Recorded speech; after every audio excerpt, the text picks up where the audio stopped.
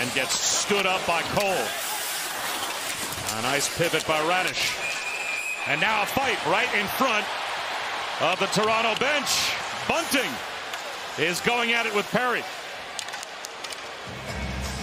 Well, Bunting had a lot to say to Maroon in that first period when he grabbed his stick at the bench. And if you're a hockey fan, you know that Corey Perry has a lot to say at all times as well. So not much made of that scrap, but now Järnkrok having a few words with Corey Perry.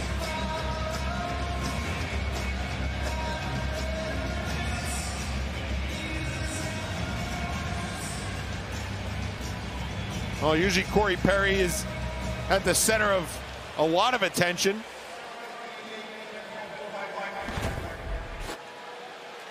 See Perry right here, a little cross check on the back of Bunting.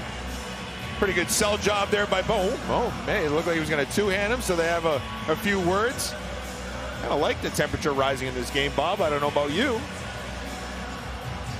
I prefer the ice capades. I'd rather they not fight. I'll tell you what.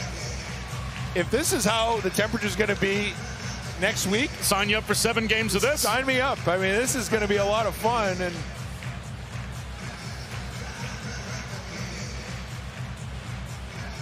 for Toronto missing two big players and Matthews and Marner, doesn't matter. These guys, as Connor Timmins told Leah, they still want to